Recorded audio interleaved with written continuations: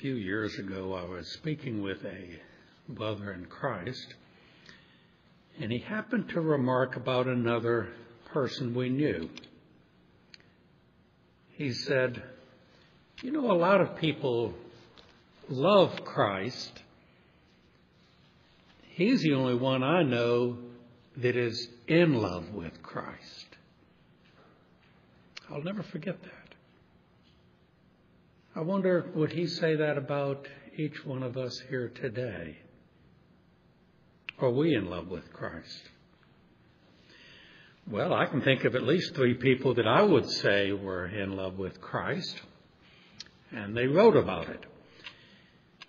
32 years ago, I read a short little book that had been translated from another language. It was written about 700 years ago by Ramon Lull. He was a Spanish missionary to the Muslims. And he wrote all sorts of scientific treatises to convince them that Christianity is true.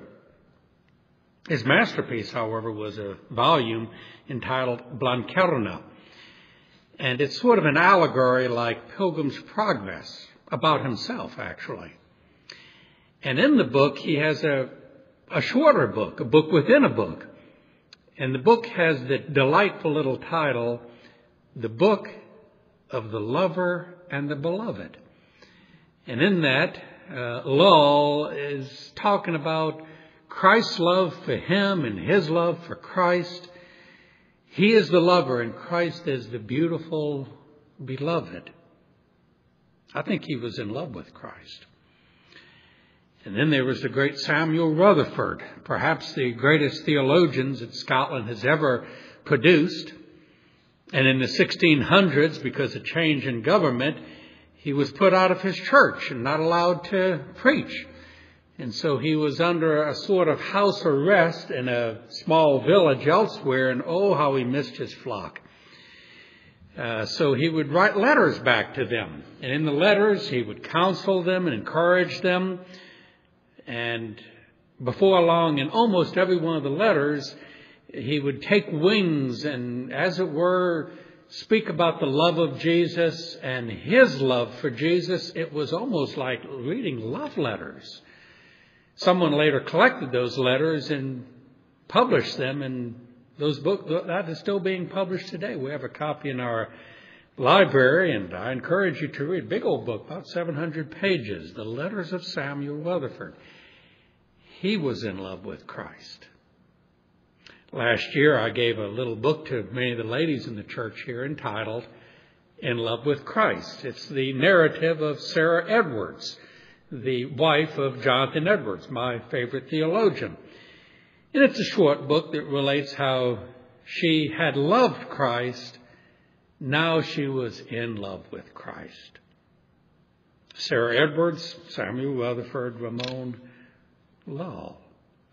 Many of the great hymns have to do with loving Christ and being in love with Him. We'll sing a couple of them in a little while.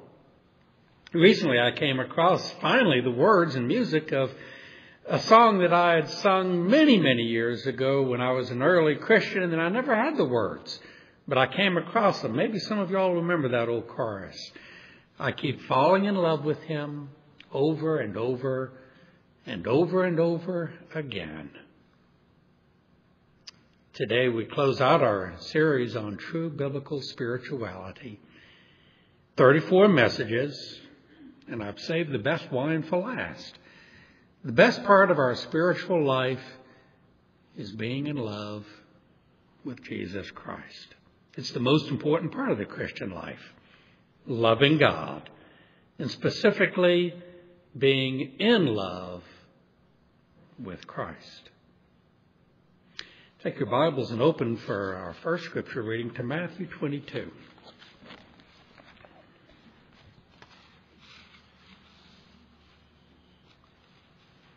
A few years ago, I was leading a Bible study in another city. Mainly as college students sitting around talking and asking questions. And I remember one young lady, about 20, asked a question, and very serious look on her face. It was slightly sad. She looked right at me and said, What does God really want from us? What does He want most from me? And I looked right at her and smiled and I said, My dear, what God wants most of all from you is for you to love Him. She had never thought of that. Have you ever thought of it like that? The Jews had wondered what was God's greatest commandment? What does He really want from us the most? Someone asked Jesus that question here in Matthew 22. And Jesus answered, perhaps with a smile, verse 37 You shall love the Lord your God with all your heart, with all your soul, and with all your mind. This is the first and great commandment. God wants us to love Him. And we love God by loving Jesus, because Jesus is God. God's love comes to us through Jesus, and we return love back to God through Jesus. At Christ's baptism, God the Father said, This is my beloved Son, in whom I am well pleased. Matthew Henry, the great Puritan Bible scholar, said, God's beloved should be our beloved as well. Another Puritan, Samuel Annesley, said, This divine love is the unspeakable enlargement of the heart toward God. It is the ecstasy and ravishment of the heart in God. It is the soul's losing itself in God. It is the continual working of the heart towards God. Beloved brethren, this is why God elected us, created us, and redeemed us, and will take us to heaven so that we would love Him. He would share His love so that we can give it back to Him. And unless you truly love God, you are not fulfilling the purpose of your very existence. This is why you are here. Without love to God, we're nothing. We're worthless. You know, we read the love chapter, 1 Corinthians 13. Paul says, without love, I'm this, I'm that. And he says, I'm only a clanging cymbal. And we usually apply that to our love to other people. Well and good. But it also applies to loving God. Unless we truly and sincerely love God, Everything is nothing. Our prayers, our singing is noise before God. And Paul says, unless I love, I am nothing. No matter what we do as Christians, whatever our religious exercises, prayer, Bible study, witnessing, unless we love God, all of that is nothing. And unless you truly love God, you are nothing. You've got absolutely nothing. You've missed the main thing. It's that important. 1 Corinthians 16:22 says, "If anyone does not love the Lord Jesus Christ, let him be accursed." In other words, he's still under the wrath of God. He still has missed it all.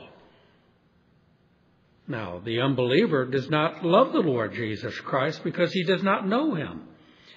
And that's an evidence that he is not a true Christian. Even those that say they're Christians, they've been baptized, they go to church and so forth, but if they don't love Jesus, that's evidence they're not a true Christian. In John 8:42, Jesus said to the Pharisees, "If God were your father, you would love me." They didn't love him. That was proof that they didn't have God as their father. They were still in their sins. So the unbeliever does not love the Lord Jesus Christ. He wastes his love on other things and other people, especially himself. It says over in 1 Timothy, they are characterized by being lovers of pleasure rather than lovers of God. They waste their love. And they're blind to Christ's love and to His excellencies. That's why they don't love Him, not just because of their sinful condition, but because they're blind. they do not see the excellency of the love of Jesus Christ. If they did, they would be irresistibly drawn to love him. To the unbeliever, I say, Oh, that you would know Jesus and his love and would love him in return. That's why we offer Jesus to you. Come and believe in him. Repent of sins. Know his love flowing into your heart. And then love him in return. But an unbeliever might ask this question because all of this is a mystery to him. He might say, How can you love somebody that lived 2,000 years ago? He lived and died. Are you talking about just loving his memory like we love some great person in the past? No, no, that's not what I mean. We are able to personally love Jesus because he rose from the dead. He is alive today and he is God. Now there's mystery in this. Being God, he's everywhere invisibly. And when we become Christians, we are now able to have a personal, loving relationship with Him that is more real than any other love relationship we have with our parents, our spouse, our children. Because they don't know everything about us, but Jesus does. And we know Him because friends and loved ones may be with us. Jesus is actually in us. And we have the closest, most intimate relationship of all. And therefore we can truly love Him deeper and better than any other. Nothing is more important in the life of a Christian, friends, than this. Nothing more important. Sadly, some Christians are bored with this. Now, you that have been in our church for many years know that every oh year or two I like to preach on this theme, and it's going to sound like what I've said before. Sad to say, in the past, when I preached on this, I have actually seen people in the church yawn, and they get that look on their face like, here we go again, another love Jesus sermon. That breaks this pastor's heart. And I think, are your hearts as cold as ice? that this subject does not touch you and warm you. Other Christians, sadly, they're not only bored with this, they make fun of this. I was in a preacher's gathering once, and you know how preachers are. They get to talking about their church and the Bible, and one of them happened to say, Oh, yes, such and such. He's always talking about loving Jesus. And he said it in a disparaging way, kind of mocking it. I felt like saying, How dare you say that? You call yourself a preacher? You should be showing them what it means to be in love with Jesus. Fortunately, other Christians long for this. They sing the hymn, More Love to Thee, and they're grieved that they don't love Jesus enough. You see, there's a mystery in this. The more you do love Him, the more you want to love Him and agree that you don't love Him enough. Ramon Lull in his little book said, I weep not only tears of love, but I weep that I don't love him enough.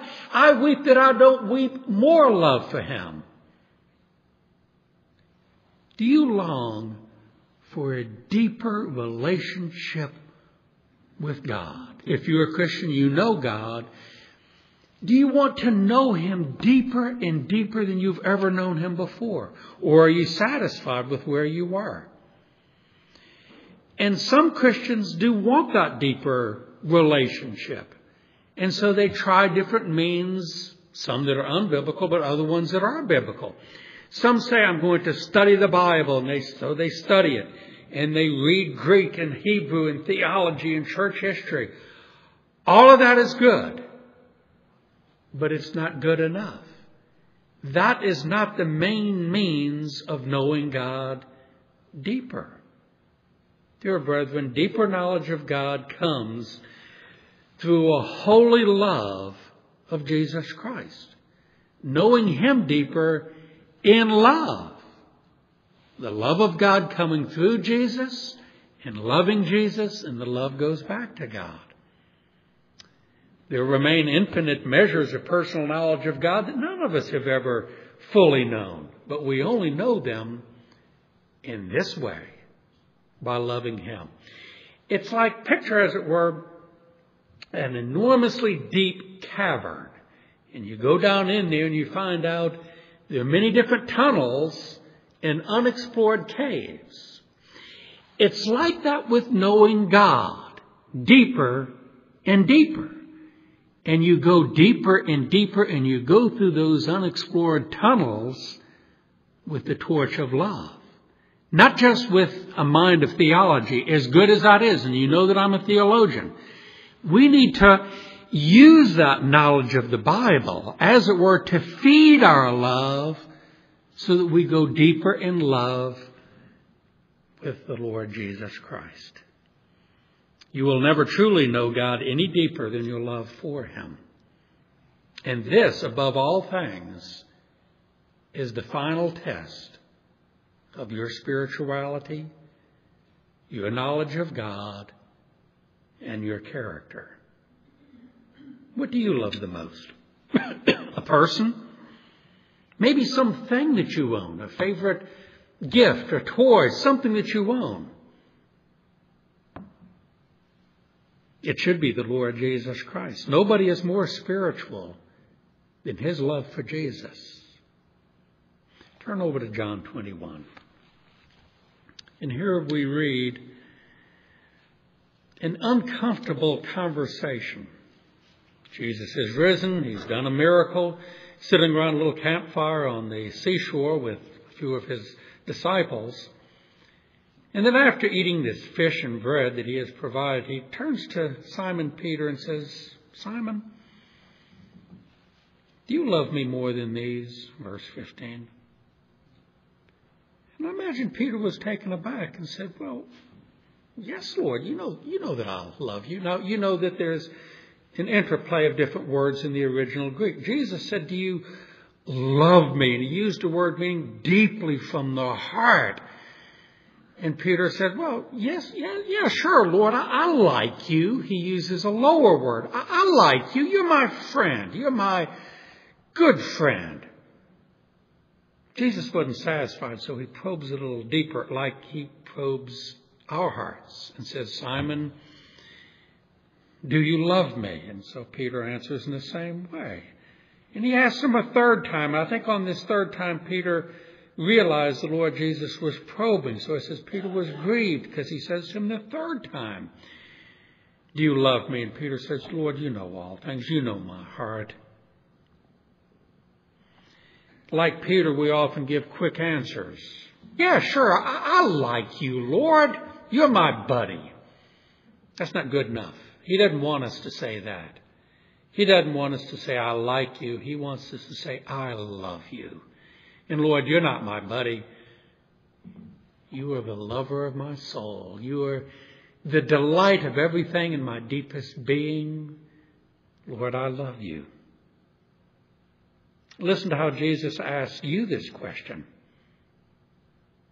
And he will call out your name. Do you love me? Do you love me? Do you love me? And you might say, well, sure, but he'll say, do you really love me or do you just say it? You just sing it when you sing these songs? My Jesus, I love thee. Do you really mean that? Or do you only think you love Jesus?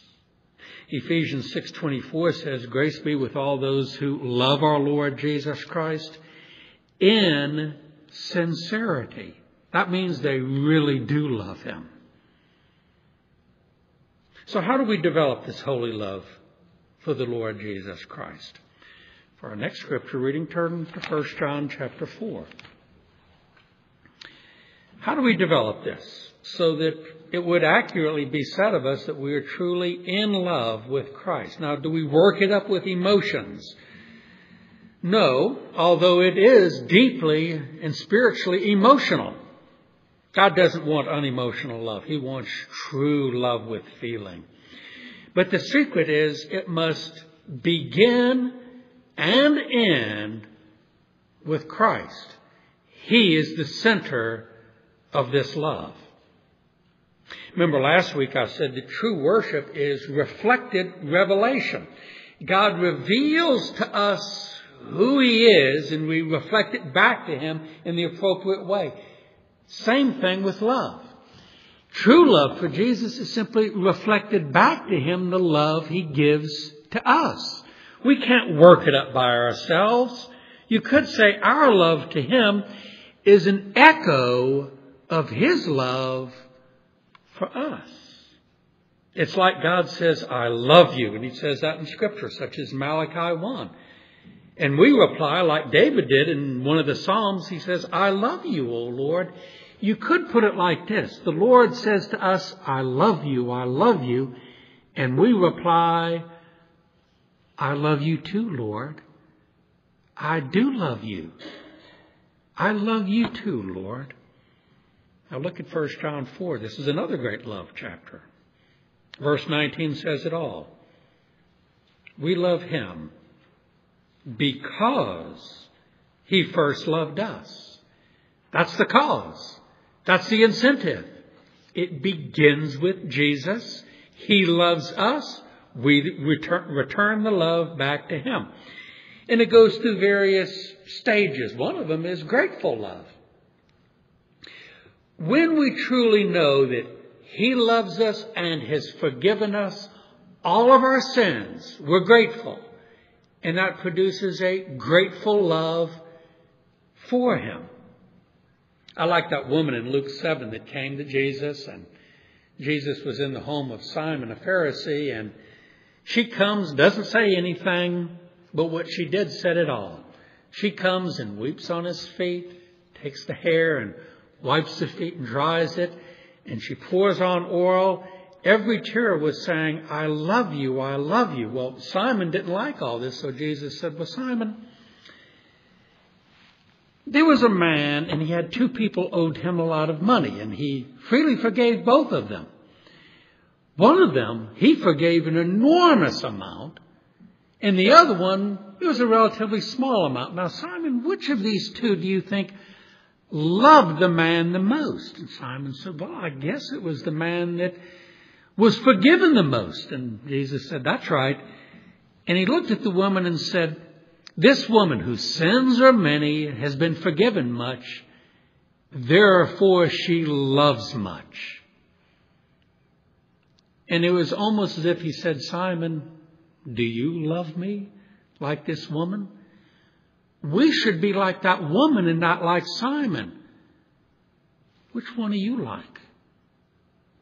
The woman that was just overflowing with love, or like cold hearted Simon who didn't realize? He said, Well, if I'd been forgiven that much, I guess I would. We have all been forgiven more than we realize. And that's enough to imitate that woman, to love her. And let me ask you a question. I've asked it before. If the Lord Jesus walked into the service this morning, what would you do? Would you look at him from a distance and say, I've always wondered what he looked like? Or would you push and shove through the crowd and run as fast as you can and fall at his feet? longing to weep tears of love on his feet, like that woman.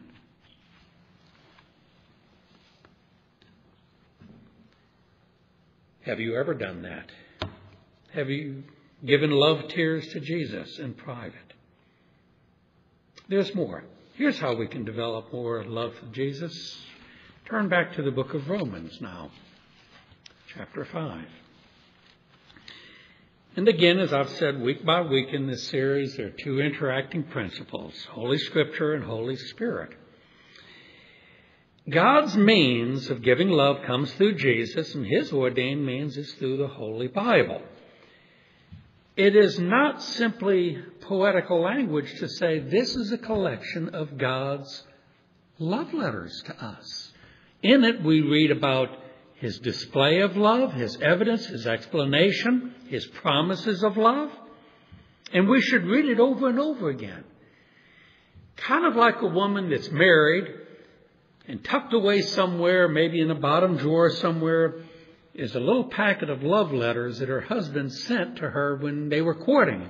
You know, women will save these things and tie it up with a little ribbon and then maybe sometimes she's lonely, she gets them out and reads them again and gets out her handkerchief and wipes away the love tears.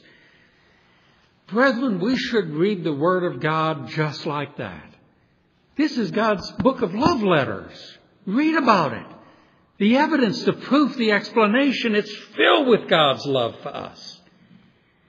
But it becomes a dead book without the Holy Spirit using it to, as it were, make it live in our hearts. And He injects the love of God in our hearts. Now look at Romans 5 5, one amongst many verses on this. Hope does not disappoint because the love of God has been poured out in our hearts by the Holy Spirit who is given to us. How does He do it? He uses Holy Scripture to fill us and to keep filling us with the love of God. So when you find that love running low, get back into the Word of God. The Holy Spirit actually helps us sense the love of God in us. We feel it. And then He helps us mysteriously love Jesus in return. So how do we go along with this? How do we cooperate? And again, the mysterious principle is faith. We love by faith. Turn now to 1 Peter chapter 1. We believe the Bible. We trust God's promises.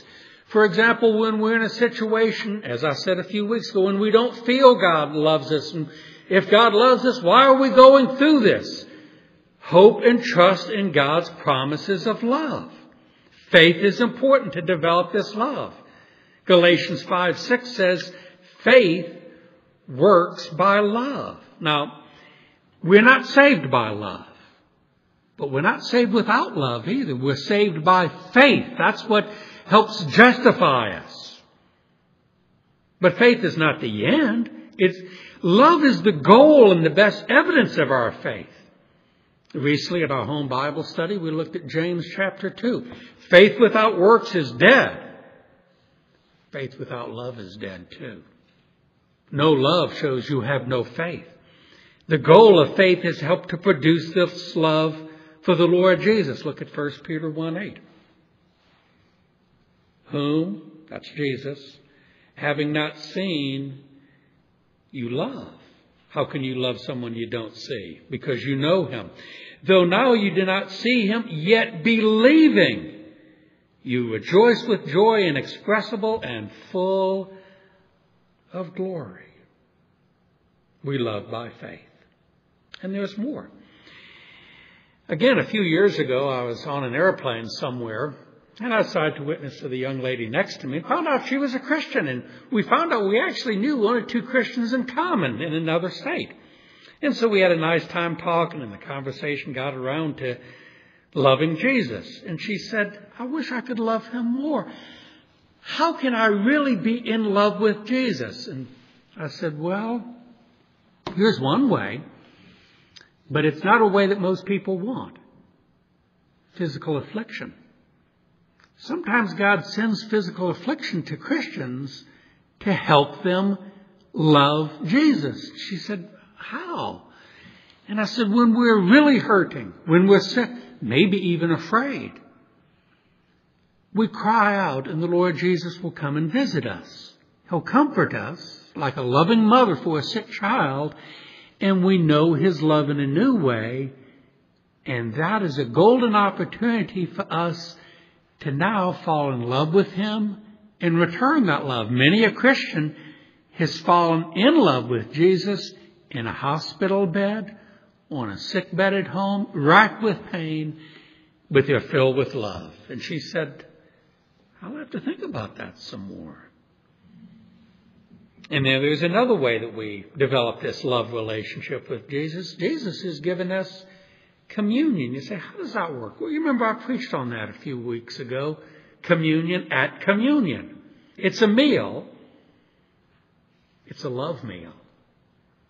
You know, when a young couple are courting and going on a date, maybe that guy doesn't have much money, so he takes his date down to the local McDonald's and gets a value meal. Doesn't cost much, that's all he can afford. It doesn't matter.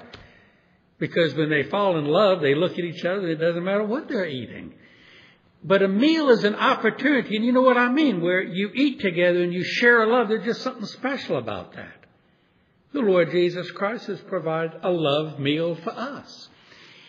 And dear brother, this meal, communion, is a foretaste of another meal we will have with Him.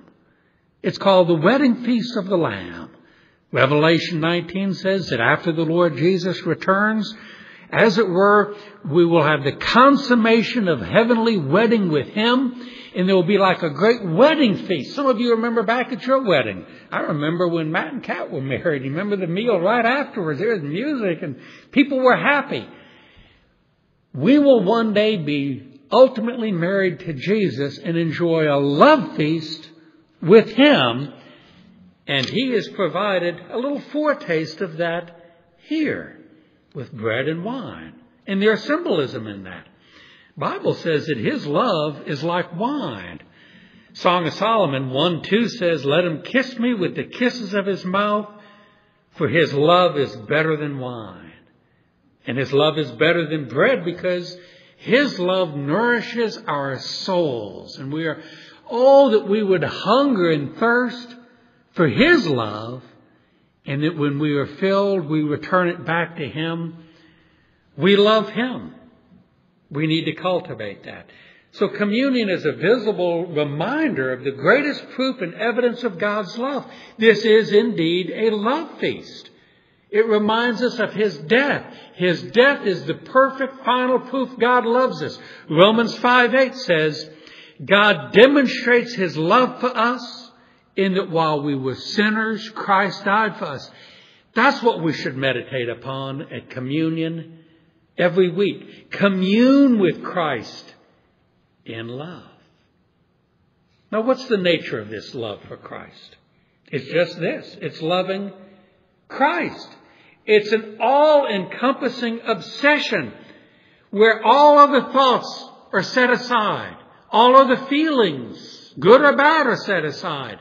It's an all engrossing obsession with Him.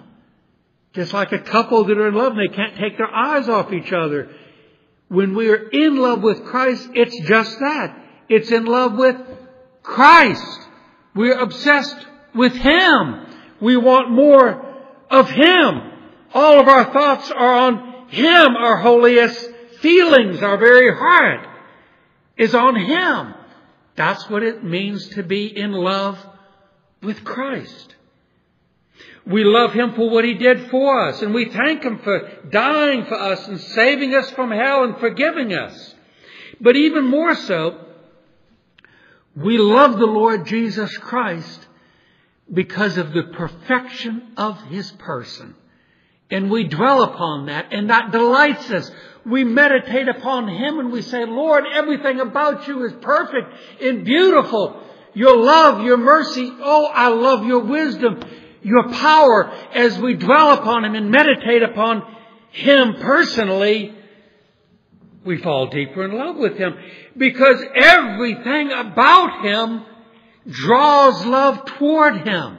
Again, the Song of Solomon says, he is altogether lovely, meaning He is altogether, here's my word, He is love worthy.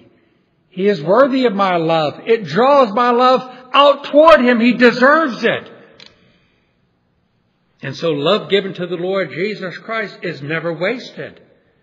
We love Him and everything about Him, not just His words or His works or His promises. We love Him personally, everything about Him. We love Christ Himself. Everything about Him. A few years ago, there was a pop song. I don't even know the words of it or who sang it, but I like the title. All of me loves all of you. Can you say that to the Lord Jesus? Lord, everything in me, my mind, my heart, everything about me loves everything about you. And the more we truly love this Christ, the more we will want to love Him.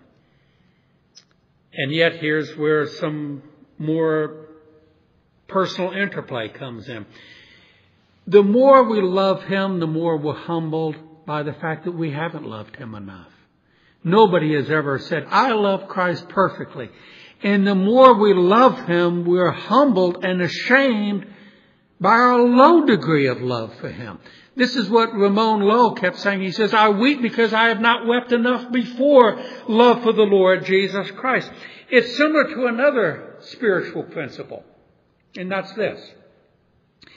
The closer we get to God in His holiness, the light of His holiness shows more of the darkness of our sins. You know what that's like. The closer you get to Him, the more repentant you are.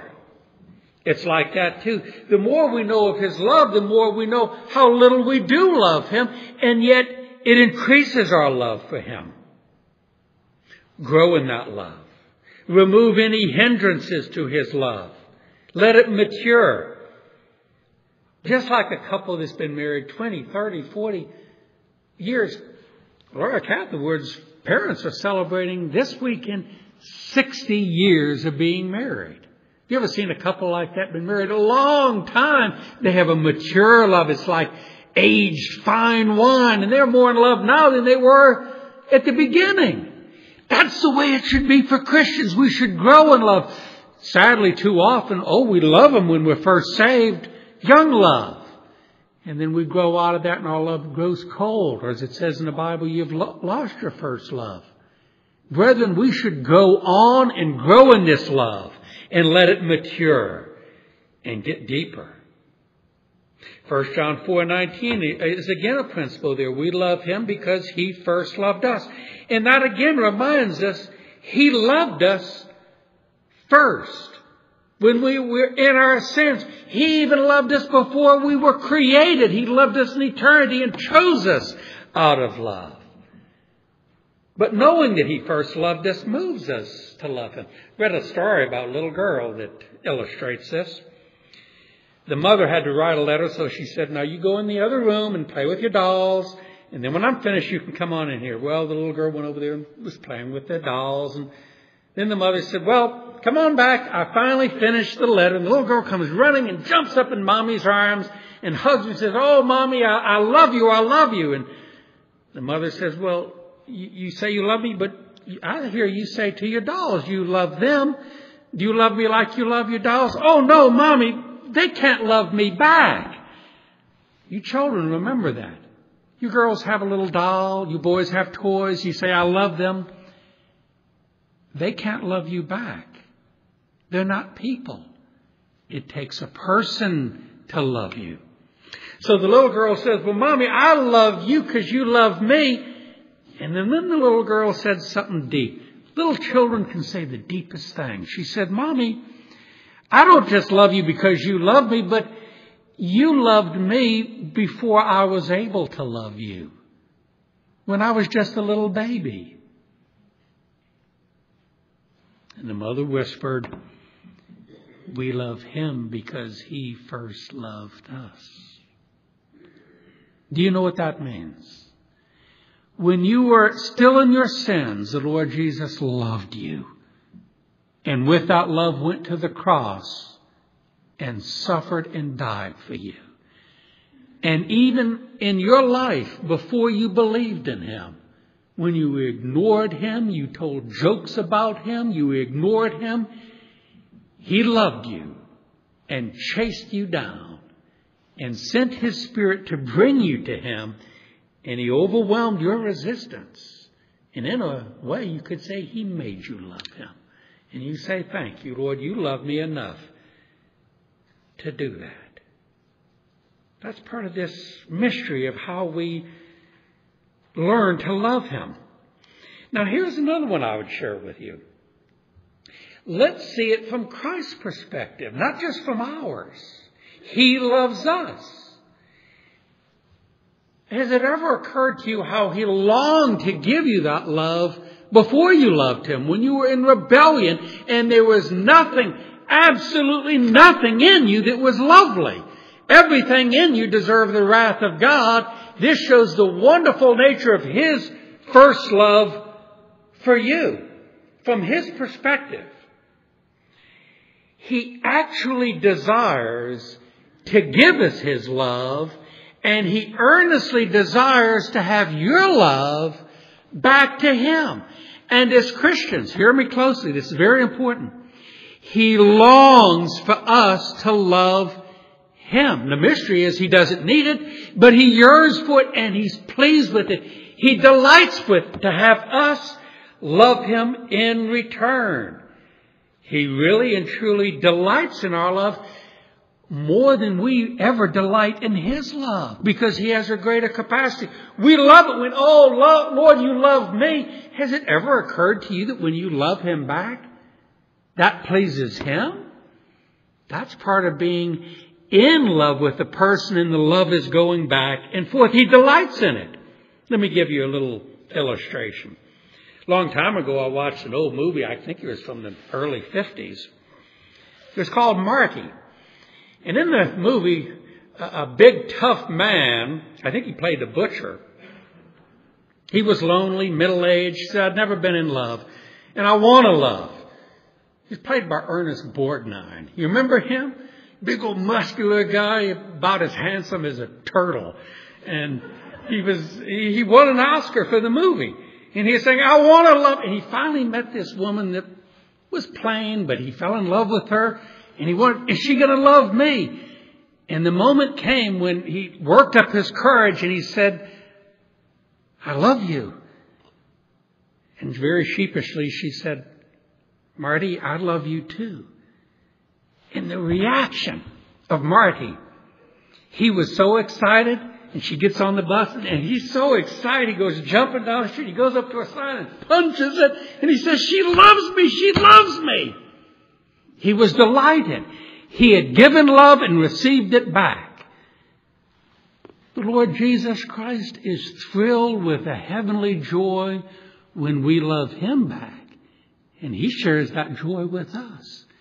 It's a joyful thing to be in love with Jesus. And it's a romantic thing. We sing Jesus, lover of my soul, let me to thy bosom fly. Let me share a little bit more about this. The Bible frequently says that we are slaves of the Lord Jesus Christ. Some Christians misunderstand that because unfortunately in the history of the world, slavery has been a very mean and cruel thing. Jesus is our master, but he is not a cruel master. He is a loving master. Now here's the principle. Exodus 21, during the time of the Jewish theocracy, the Jews could have slaves. They would have to be freed on the Jubilee year. But it says that perhaps there would be a slave that loved his master. And when the time came for him to be freed, and the master would say, You're free, you can go. And the slave says, I don't want to go. And it says, if that slave says, I love my master, I don't want to be free, I want to stay with him, then the law of Moses said you took the slave over to a door, you took his earlobe and put it up against the wood, and you took a nail and drove it through it. Steve, talk about ear piercing. Wow. And you drove it in and pulled it out, and that little mark would be like a, like a tattoo saying, you love your master and you will serve him out of love forever. That's what the Lord Jesus Christ wants from us, where we say, I belong to Him. He loves me too much to let me go, and I love Him so much, I would never let go of Him, brethren. We are love slaves of the Lord Jesus Christ. And He's got us in the bonds of love. It's a mutual love, as I say. That's the secret. He loves us, we love Him, and we're in love with Him. Now, again, this is misunderstood. Sometimes uh, a person will think, well, it's like loving someone that doesn't love you back. Illustration of this is maybe there'll be a teenage girl that looks at a picture of some famous singer or maybe a boy in another class in school and says, Oh, I love him, I love him. She loves the picture. She doesn't even know the person. And that person doesn't love her back. That's a false kind of love. It's maybe an attempt you know what true love is? Is when you're not having the picture, you have the person.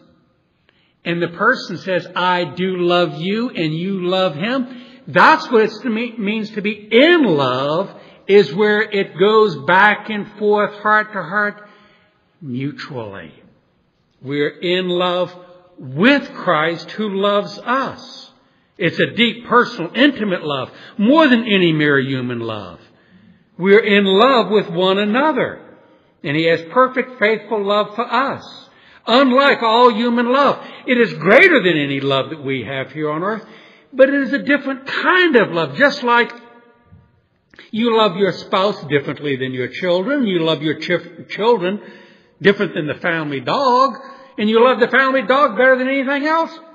You see, there are different gradations. We love Jesus in a unique way because he has a unique love for us. It's qualitatively different. It is unique and therefore our love for him must be unique. He must have first place in our heart's affections. Not second, not third. He's greedy. He demands first place.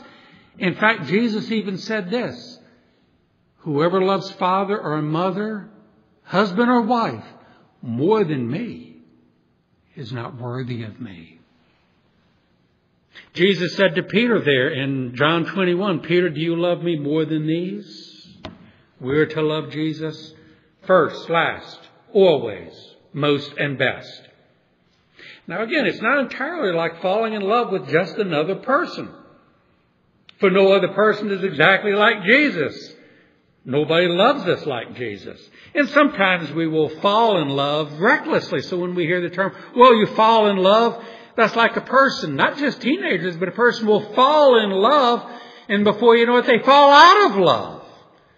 This love is not like that.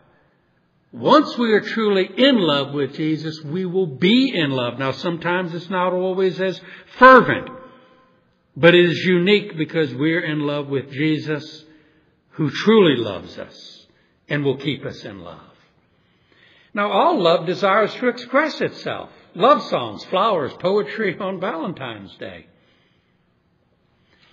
How do you express your love for the Lord Jesus? Now, of course, we do it in obedience, we sing, we worship, and things like that. But have you ever tried a new way, a special way? Do you ever sing love songs to Jesus when you're by yourself? He loves to hear that. Now you say, well, I can't sing very well. That doesn't, that doesn't bother him. Just the fact that you sing to him will be a pleasing song in his ears. You know, it's like a couple, maybe they're dating, maybe they're married, and you know, the guy says, I'm going to send a text to her. And he pushes out some little love note to her. Or maybe he'll be like my father. My father and mother, they loved each other to the day that he died. And he would phone her from work every day and they'd talk about things and he'd always say, I love you, sweetheart. And that thrilled her heart. Maybe it's something like this. A man loves his wife and says, I'm going to surprise her. So he phones her up at work when she's not expecting and he says, you know, I've just been thinking about you. And as I think about you, you know, lovely little thoughts go dancing across my mind and they warm my heart. And I just had to phone and say, I love you. Totally unexpected. Maybe she does something like that. In the morning, you know, he's in their room shaving, and so she packs his little sack of lunch, puts a little sandwich, maybe an orange, maybe a piece of candy or a cookie, and then she writes a little note saying, I just wanted to surprise you and say I've got the best husband in the world, and I love you with all my heart. Sticks it in there. How do you think he feels when he gets that? What am I saying? we should, as it were, think of ways day by day to express our love to the Lord Jesus Christ. Not just Sunday morning, but other times when we think about Him, take a few minutes, maybe when you're driving in the car.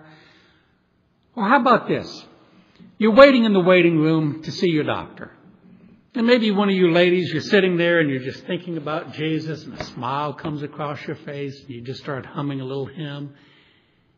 And the lady next to you says, what are you, what, what, what are you thinking about? And you, you say, oh, I'm in love.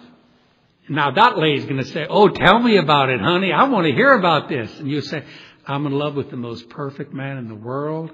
He loves me. Oh, he's the kindest person. Oh, he's so wonderful. He loves me and I love him. And she says, well, who is he? And you smile and say, Jesus.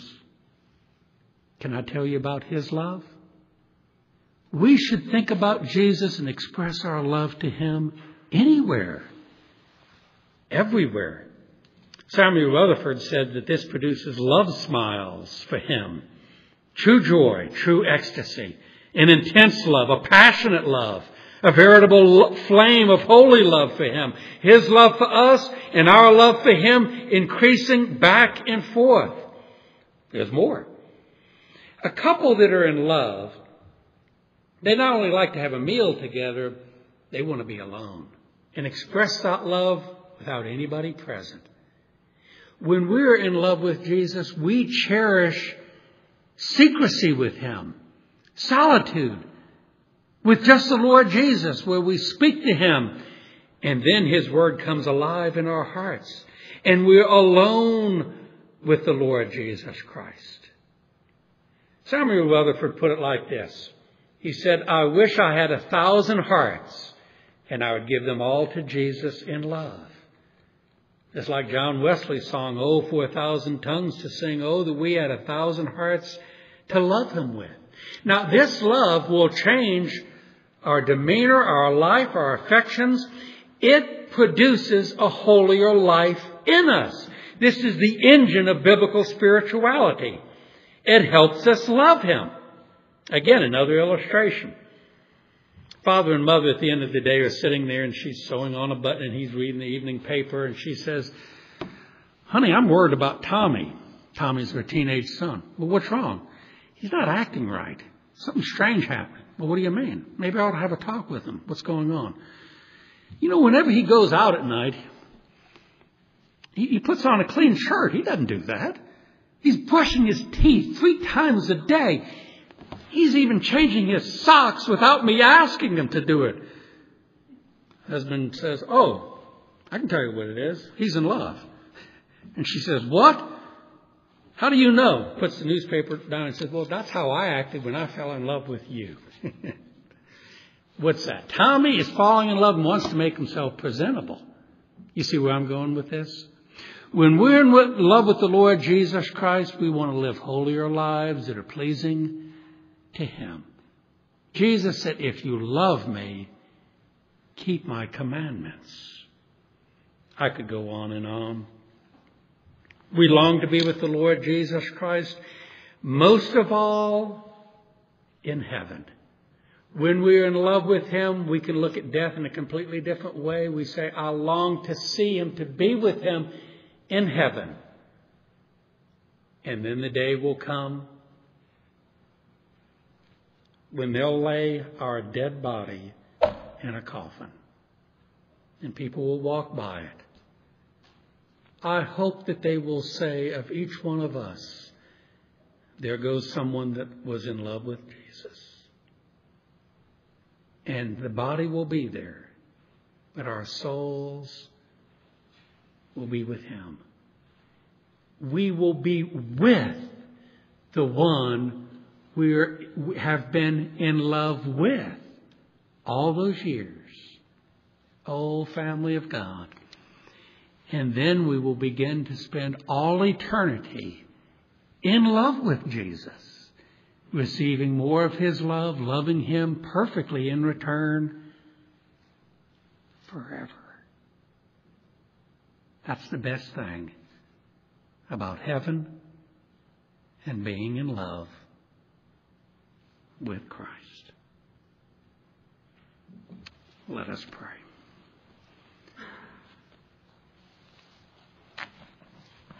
Father, thank you for your love through Jesus. Thank you for the wonderful privilege of loving Jesus. Lord Jesus, we want to tell you we love you. And now we want to sing it to you and sit at your table. Fill us with love, and we love you too. In Jesus' name, amen.